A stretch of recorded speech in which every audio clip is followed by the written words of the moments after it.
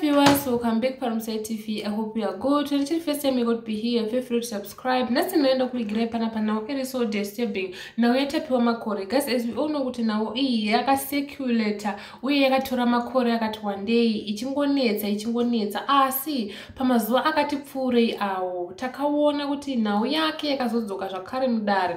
Apo pakamiswa tapiwa makore siniya natafadzwa shamba apo pavakazopiwa mutongo kana kuti vakatongerwa death sentence asi makuseni ano tafuma tichiona kumaplatforms mazhinji esocial media achitaura ivo kuti vaviri ava vasati vaitwa hang up vakafunga kana kuti vakazvipira kuti vataure kwavakaisa musoro watapiwa makore nokuti veruzhinji kunyanya vabereki vake Uh, vaida kuziva uh, kwakaiswa musoro watapiwa makore asi zvinonzi vakazozvipira ivo pachena.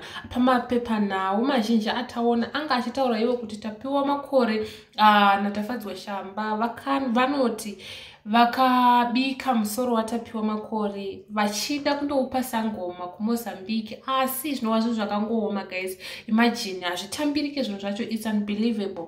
Asi zvinonzi vari munzira kana kuti vaakudzoka kubva kusangoma iya mushure mekunge sangoma iyi yaramba musoro uyu. Inotonzonzi sangoma vakaramba musoro uyu nokuti vakati inini handikwanisi kunge ndichitambira musoro watapiwa kana musoro womwana uyu nokuti hausiri fresh nokuti vanga vaubika kuavoida smell nokuti izvinongo zvakangooma guys. Ndonhauya ndikangokubatira panapa zvizhinji zvinototyisa kutsanangura. Ndonhauya ndandikakubatira panapa. Kana ichiri first time yekuti be here feel free to subscribe